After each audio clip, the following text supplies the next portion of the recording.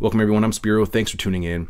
There's a lot going on and a lot to cover, but in this report, I'd like to specifically focus on one of the major changes coming our way as we transition into the Great Reset and the new digitalized system of control, and that is digital IDs a topic we have covered here on the show previously. Uh, I'll leave links for uh, some in-depth reports on that uh, regarding the UN's work with the Gates Foundation and ID 2020, among many others, to establish a digital identity and birth registration for everyone on the planet under Sustainable Development Goal 16.9, which is part of the UN's 2030 agenda. But for now, uh, I want to focus on this news that just came out here uh, within the past couple days. The International Civil Aviation Organization, which is a specialized agency under the United Nations, has announced they are one step closer to bringing digital identity based travel to a reality as they have endorsed specifications for the first digital travel credentials. Now, additionally, the United Nations just announced that they are rolling out its own biometric digital identity wallet. As you can see here on Biometric Update, the UN Digital Solutions Center is a pilot project for the World Food Program, which is a United Nations program, and the United Nations High Commissioner for Refugees and the United Nations International Computing Center, which I have reported on previously, that was very instrumental in the development uh, and implementation and rollout of 5G almost a decade ago. Uh, so this particular UN biometric digital wallet is intended for UN employees, and it can be used for uh, data related to human resources, medical status, i.e., you know, vaccine status, travel, there's your health passport, payroll, and pensions. It's going to be hooked up to your financials. Now, this uh, can also be used for onboarding new employees or helping transition those who are leaving or retiring away from the organization. Now, here is a quick promo video. Digital transformation is changing the way we manage our data, our information, our interactions, and our identities online.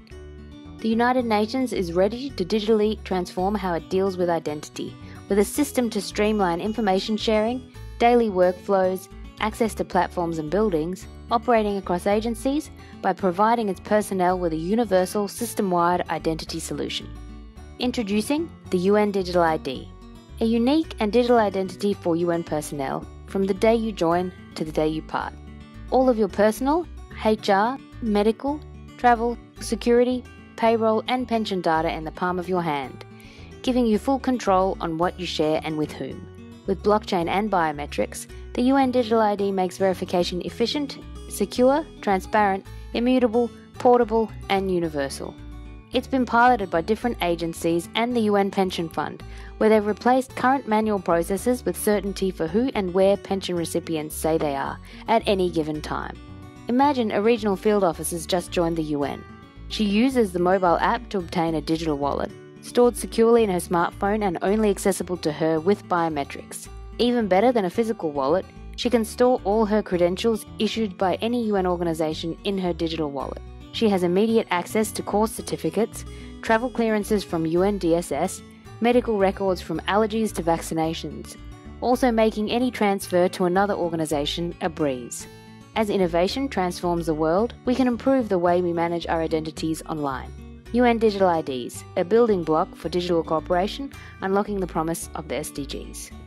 I hope you see where this is going. Every aspect of our lives will be centrally digitalized using biometrics, uh, AI, 5G, and in many cases, blockchain. Uh, and when you hear the so called stakeholders, such as the United Nations, or the central banks or governments, or the World Economic Forum, who just blocked me on Twitter the other day, reference the private sector, they are talking about tech companies, fintech companies like Ripple, or foundations like IOTA, who are currently working on digital IDs, distributed ledger technology, cryptocurrencies, smart cities, and the Internet of Things, just to name a few. Uh, this is the new digital system of control the social engineers are referring to when they talk about the Great Reset, along with the social controls via United Nations Agenda 21 and the merger of man and machine via World Economic Forum's fourth industrial revolution, which Musk's uh, brain chip, uh, Neuralink, fits into nicely, doesn't it? Now, all of these pieces of the puzzle are hiding out there in plain sight. And of course, this new system is being ushered in and justified by the current manufactured crisis. This is classic problem reaction solution in real time. And it's not just happening in some far off land halfway around the world, uh, and you have years before it will affect you. This is the rollout slash implementation phase. Example, just today, Equate, a leading global provider of identity verification solutions, announced today that it has become an official member of the Digital ID and Authentication Council of Canada. And when you look at their partners, it's crypto exchanges, credit card companies, banks, and what are they interested in? Well, it says right here uh, document authentication, behavior data, biometric verification, liveliness detection, transactions, your personal data, digital footprint. And what industries are they working in? Well, currently they're working in retail, telecom, health, finance, banking, transportation slash travel, government, and border controls. All of these aspects will be part of your digital identity, including your credit and possibly social credit scores. Just today, they announced a partnership with Canada's government. So this is moving forward uh, day by day. And there are countless other examples, like MasterCard working on biometric immunization records for the Wellness Pass, another digital health passport. Now, why would a credit card company be interested or concerned about your current immunization status? I'm sure you can see or imagine where this may be going. For example, Spiro, you didn't get your latest shot, your booster shot. Uh, we'll have to impose travel restrictions upon you. Uh, you can't go to work, and we're going to freeze your assets or your payments until you comply. Uh, is that really too far off? Because it certainly seems that they're setting up the framework for uh, a coercion scheme just like that. They may not have to mandate anything after all if they can encourage you to obey.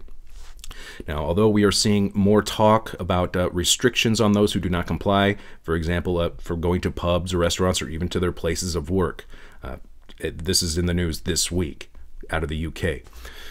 Now, unfortunately, that's all the time I have for this one. Remember, this manufactured crisis isn't going away by itself. Uh, the amount of tyranny people will live under is the exact amount people will tolerate. And the United Nations is making big moves along with uh, a lot of other companies right now heading towards this new digital system of control. I'm Spiro. Thanks for watching.